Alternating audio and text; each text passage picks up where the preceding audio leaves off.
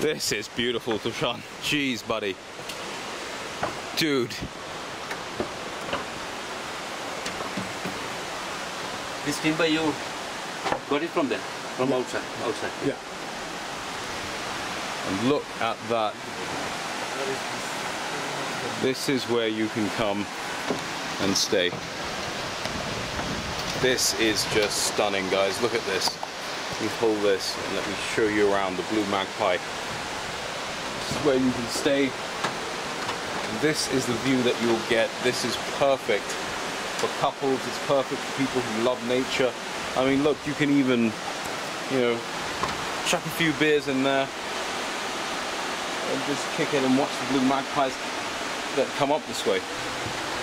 This is the Blue Magpie Resort in Maskeliya. Come up and have a look.